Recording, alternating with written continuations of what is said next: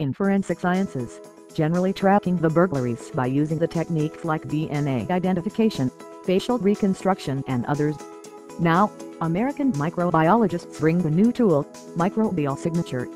With the new tool, burglaries can track with the traces of bacteria and other microorganisms that live in homes.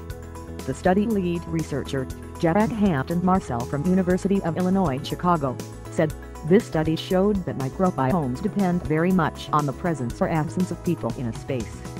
Normally, humans emit approximately 36 million microbial cells per hour into their environment for providing the opportunity to trace microbial signatures back to their originating source.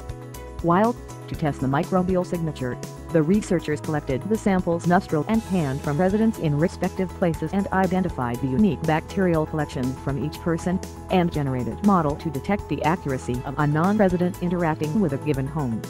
Results of unique operational taxonomic units A total of 9,965 unique operational taxonomic units OTUs identified among 30 individuals. When observing the change in UOTUs over time, the rates of appearance and disappearance showed no difference in the presence of other people. Hampton Marcell stated, this is the first study to use the microbiome as a forensic tool using remarkable markers instead of fluctuations in the microbial network structure.